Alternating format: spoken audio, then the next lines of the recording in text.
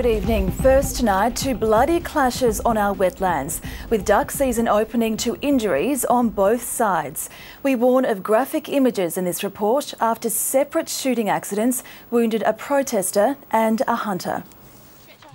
Her face bloodied, a tooth lost. A protester struck by pellets intended for a duck she wanted to save. We are shot in the face by duck shooters. Julia Simmons among hundreds flouting police warnings not to enter the water as duck season got underway. Hunters angered, labelling activists irresponsible. You should not be putting yourself directly in front of shotguns.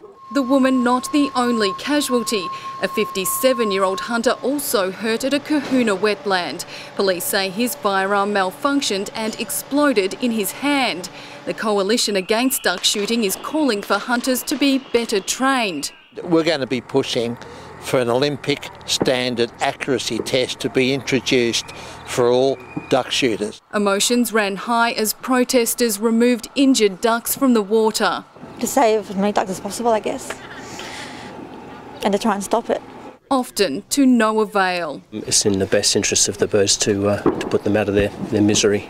But the hunters say it's just a token protest. Tomorrow the activists will be gone and there's still 12 weeks of shooting ahead. They, they come up, stir up a bit of a fuss. Um, I mean, they give a bit of bad publicity to us, but I mean, you know, we're responsible hunters. Alicia McMillan, 10 News.